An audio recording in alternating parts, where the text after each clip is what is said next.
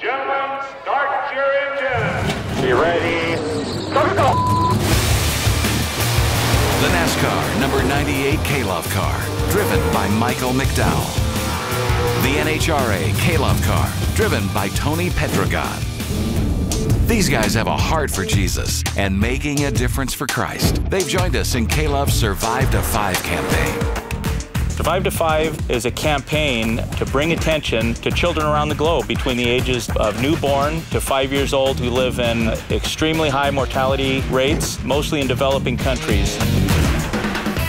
These racing partnerships help K-Love reach an audience who have never heard of positive, encouraging K-Love, and it's making a difference. Together, we're helping to reach kids who need hope. We ultimately want to, to really help children from newborn to five years old just really have the basic essentials. The foods with vitamin A, there's 23% increase in their survival rate if we can provide them some of these simple things. K-Love Survive to Five with Michael McDowell in the number 98 K-Love NASCAR and with Tony Pedregon in the NHRA K-Love car. Make a difference today with K-Love's Survive to Five campaign, and together we can help save the life of a child. Learn more at klove.com/survive.